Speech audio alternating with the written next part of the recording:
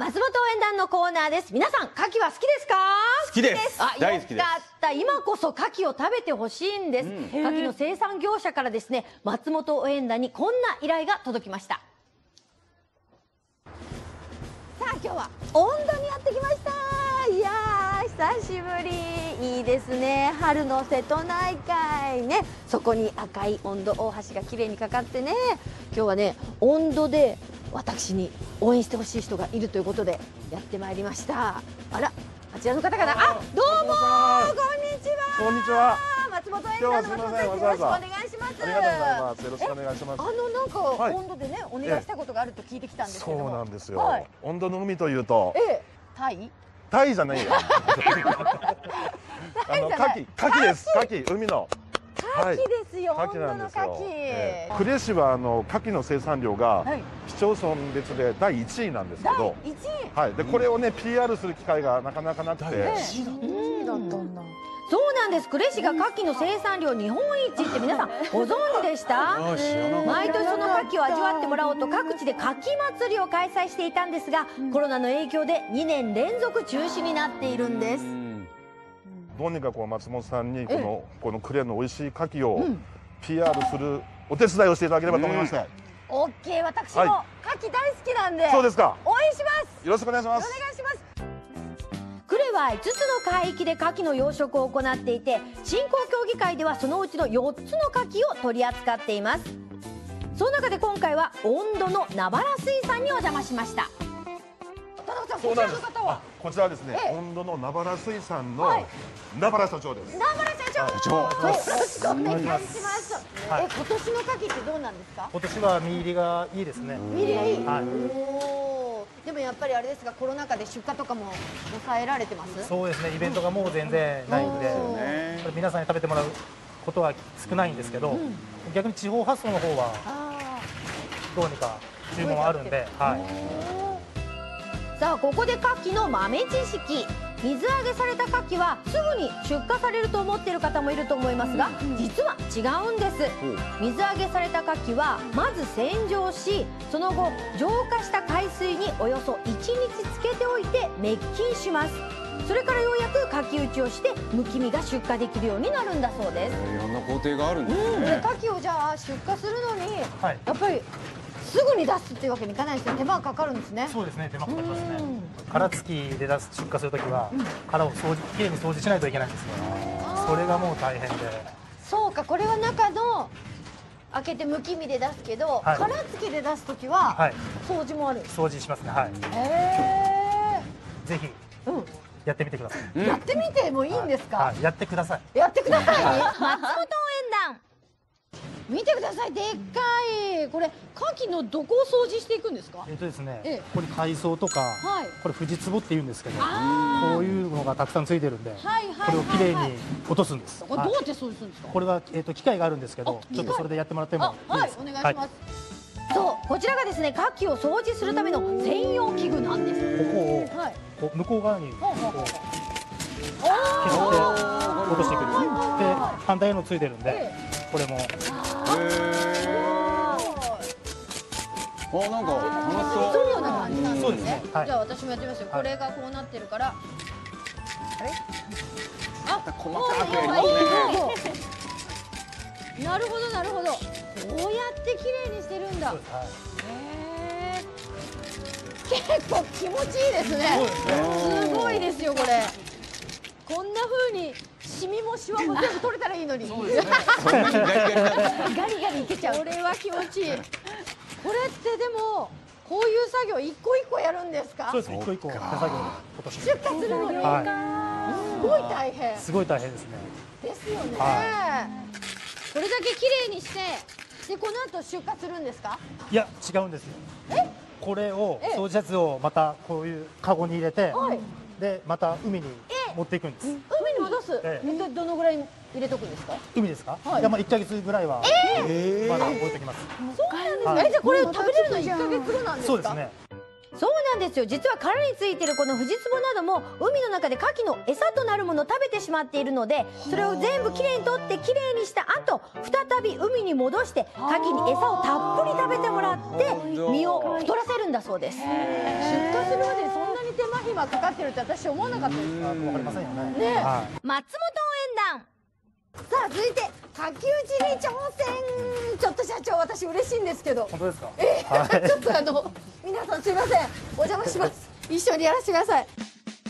まずは名村社長に書き打ちのポイントをレクチャーしてもらいました。貝柱をきれいに外すことがポイントなんですよ。ここでしっかり持って。おお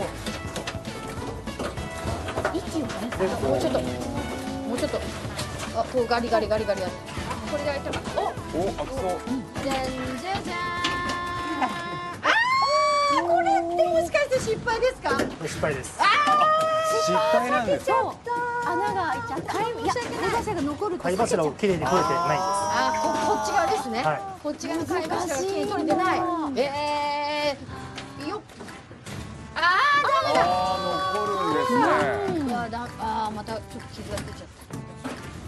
えー、難しい。すごい。あー削れちゃった。あー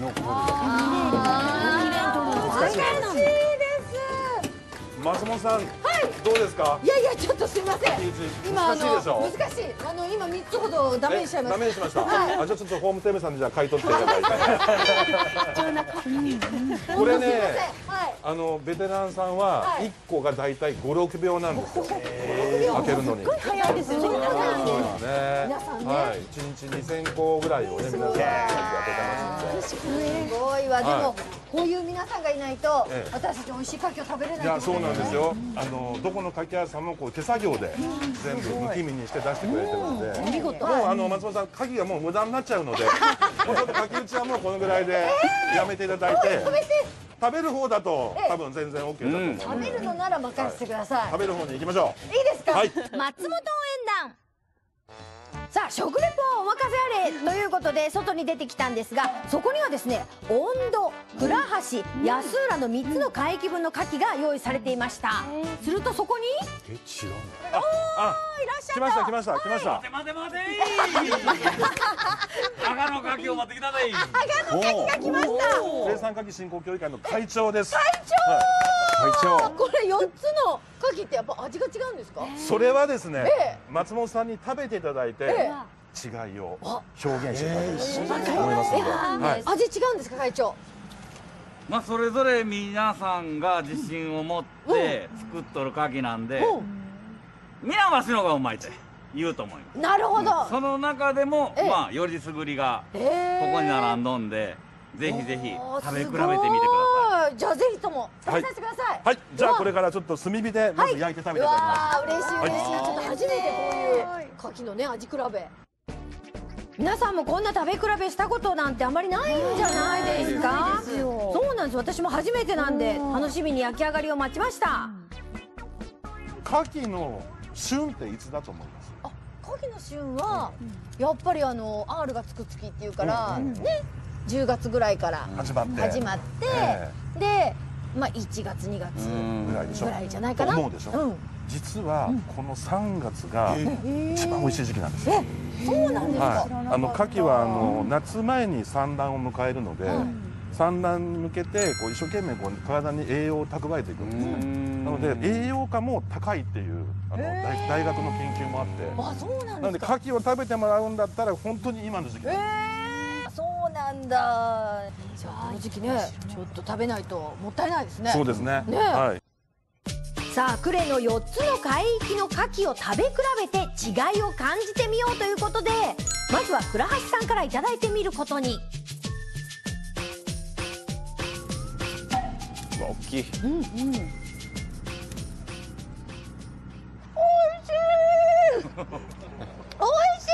これ牡蠣美味しいねやっぱ焼き牡蠣いいですよね。最高プリップリ。ね。ねえ。なんちゅうてね磯の香りというかもうまろまろみというかもう旨味が凝縮。そうですね。うん。とそれがまたさらにこうギューッと濃縮されて。はい。いや最高です。えでこれで味が違うんかな？まずじゃあ今倉橋行きましたんで倉橋食べ次安浦の牡蠣が焼き上がっていいですかこれやつはい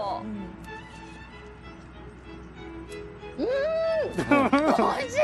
あでも確かに倉橋の方がちょっとさっぱりしてて安浦の牡蠣の方がちょっと塩味が強いというか。さすが。おお実はですね。ええ。安浦の海は、はい。あの三口湾という海なんですけど、ちょっと塩分濃度が高いんですよ、なのでまあ打ち合わせをしたかのように。本当ですよ。してないです、はい、してないですしてないですしてないです。今ね。LC わかるんですよ。ちょっと塩味が強いんです。はい。その通りです。さすがですすごい。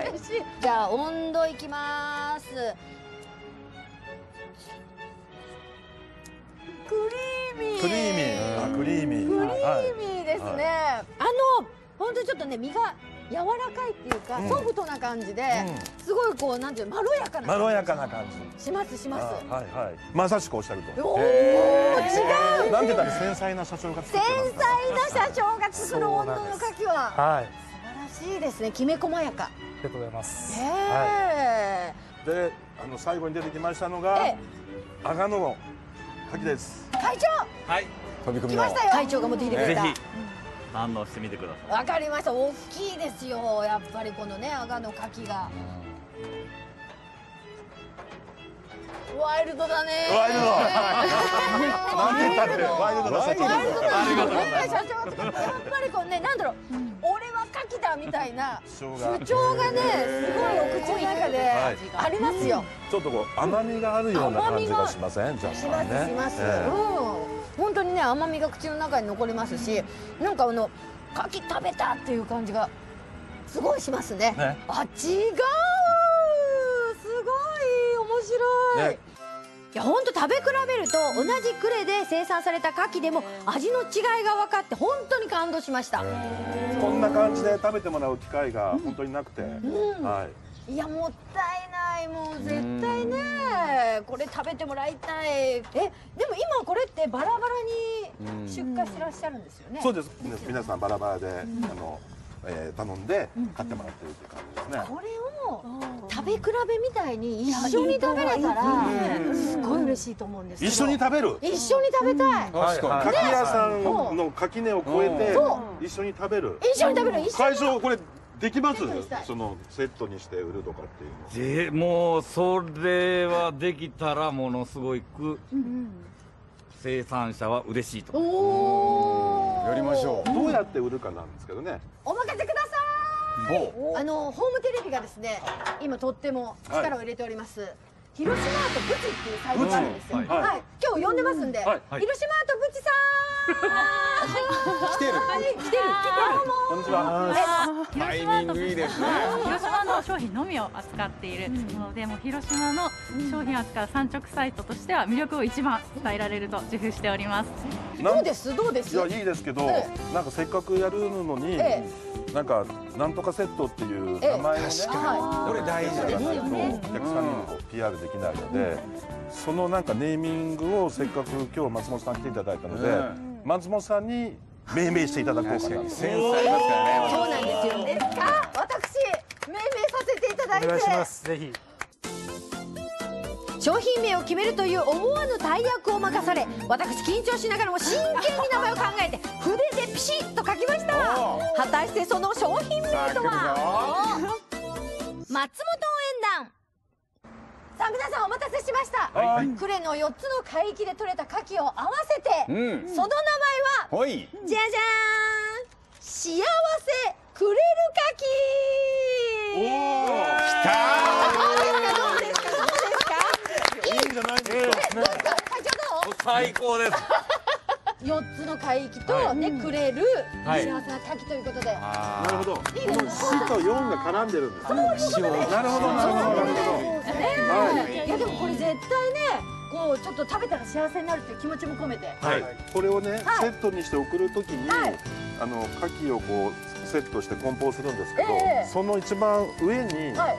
この松本さんに書いていただいた字字とお牡蠣の写真とを組み合わせて、えかけしみたいなやつをお作ってもいいですか？もちろんです。ありがとうございます。ありがとうございます。では名前はこれで決定。皆さん売り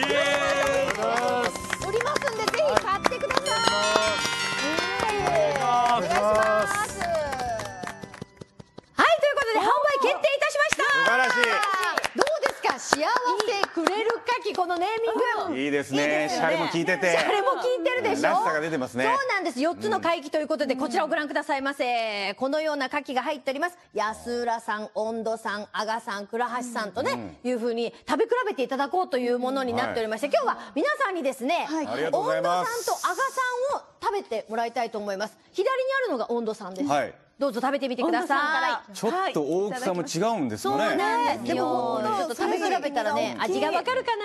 ふっくら？いやー違いわかるかな？どうかな？さあ食べてみてください。稲葉さんが。ちょっと離れる。食べたのが今温度さんかな？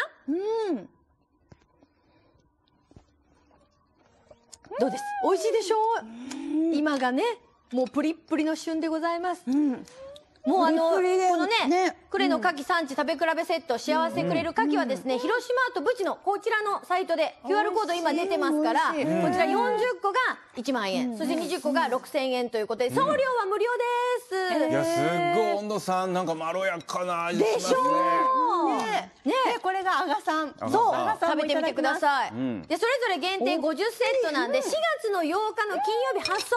もうこれ限定なんで、もう早いもん勝ちですよ皆さんねご購入はこちらの QR コードお願いいたします、どう食べ比べて。阿賀さん濃厚じゃないですか、違います。違うでしょ、ね違う違う。そうなんです。クリーミーさとやっぱり塩分濃度がそれぞれちょっとずつ違う。違う。わこれを感じてほしいわけですよ、ぜひともお願いいたします、さあそしてですねずっとあの牡蠣祭りもねあのできなかったんですけど、今週末なんと2年ぶりに復活クレ牡蠣フェスタ2022が行われます。10時から3時までということであのー雨天はね中止なんでよかったらホームページの方を検索してみてください。でも3月4月の牡蠣はですね本当にあの旬で美味しいのでそしてこの食べ比べセット広島とブチから頼んでください。本当に美味しいです。松本縁談でした。